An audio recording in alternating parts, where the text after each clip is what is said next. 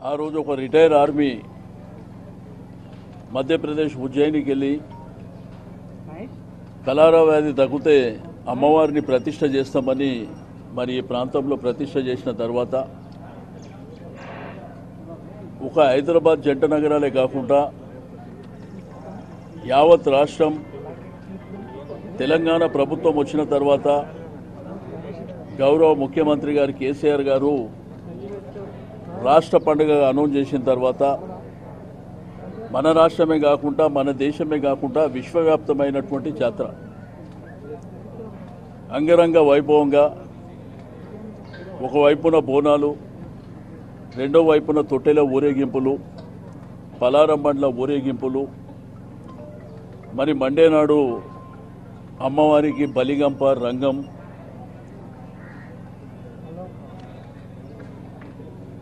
మరి ఇన్ని కార్యక్రమాలు చాలా సాంప్రదాయ పద్ధతిలో ఎండోన్మెంట్ డిపార్ట్మెంట్ ఆధ్వర్యంలో మరి జరిగేటువంటి పండుగ. దీంట్లో ప్రధానంగా కొన్ని లక్షలాది మంది ఈ యొక్క ప్రాంతానికి రావడం ఒక మన రాష్ట్రమే కాకుండా వేరే రాష్ట్రాల నుంచి దేశం నుంచి కూడా కొన్ని లక్షలాది మంది సంఖ్యలో భక్తులు వచ్చేవారు.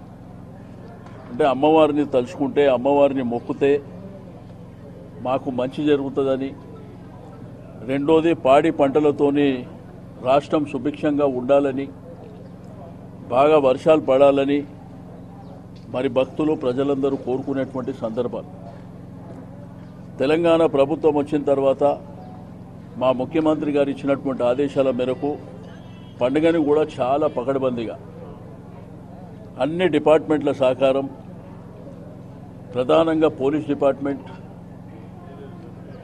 ఆ తర్వాత ఎండోన్మెంట్ కానివ్వండి ఆర్ఎండ్బి కానివ్వండి health department electricity department GHMC water works అన్ని డిపార్ట్మెంట్ల సహకారం స్వచ్ఛంద సంస్థల సహకారం దక్కన్ మానవ సేవా సమితి ఆర్య సమాజ్ స్థానికంగా ఉండేటువంటి ప్రజలు రాజకీయ నాయకుల సహకారం తీసుకొని ఈ పండుగను చాలా గొప్పగా నిర్వహిస్తుంది.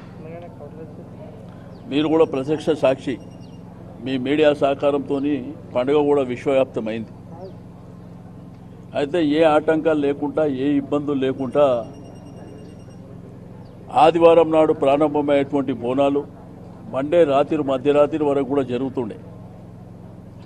కానీ పరిస్థితుల ప్రభావం కరోనా వైరస్ ప్రపంచాన్ని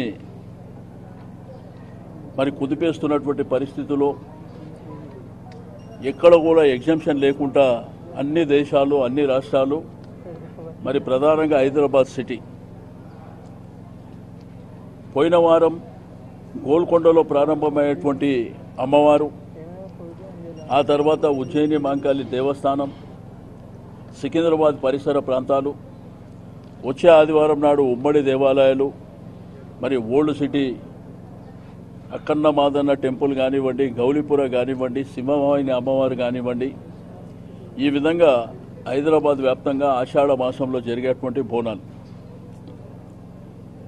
కానీ కరోనా వైరస్ మరి విజృంభిస్తున్నటువంటి పరిస్థితిని కూడా మనం చూస్తున్నాం.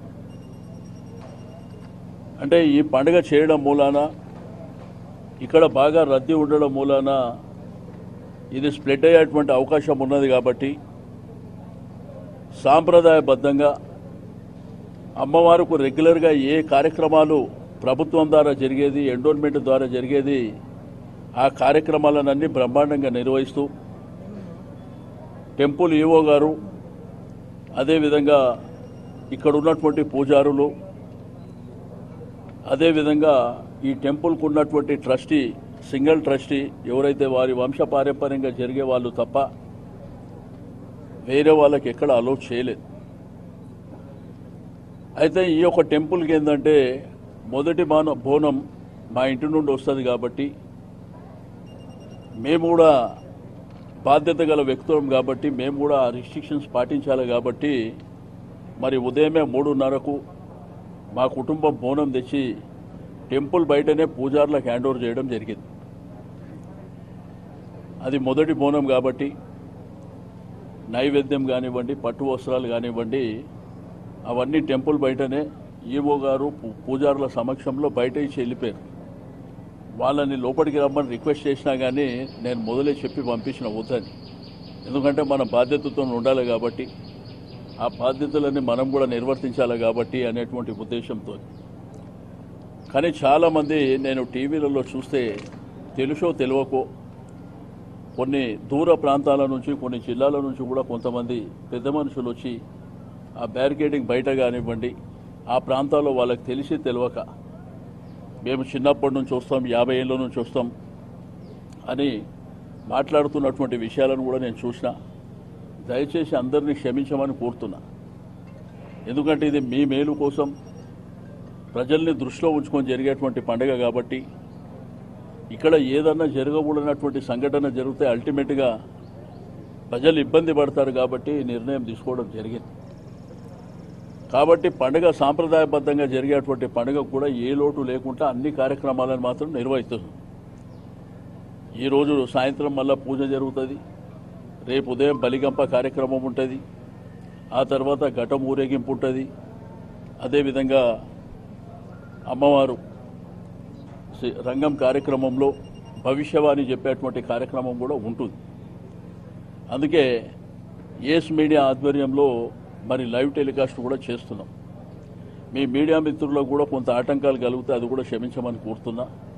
ఎందుకంటే మనం కూడా పార్ట్ ఆఫ్ పబ్లికే కాబట్టి మీరు కూడా దయచేసి కోఆపరేట్ చేసినారు ప్రజలు కూడా బ్రహ్మాండంగా కోఆపరేట్ చేశారు మీరు చూస్తే ఈ చుట్టుపక్కల బస్తీల నుంచి ఎవరు కూడా బయటికి రాకుండా వాళ్ళ ఇళ్ళలోనే బ్రహ్మాండంగా మహంకాళి జాతర ఉత్సవాలు జరుపుకుంటారు మేము డే వన్ నుంచి కూడా చెప్తుంది అదే జాతర చేసుకోవాలి మీ ఇంట్లోనే చేసుకోండి.